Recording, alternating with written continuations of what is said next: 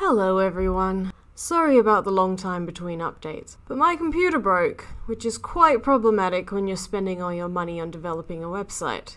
So, community owners now get notifications when users join their communities. Reply notifications now also link to the replies themselves instead of the comment thread, which is very important when it's a thread with a lot of comments.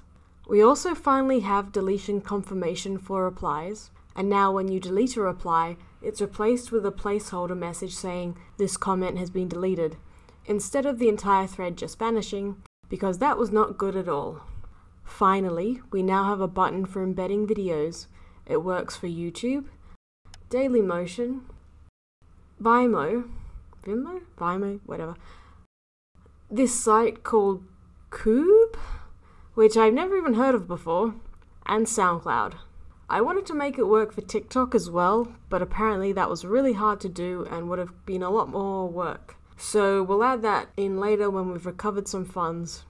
As for the speed issue, it's taking a lot longer than I was initially led to believe it would take, but it seems that now things are moving in the right direction.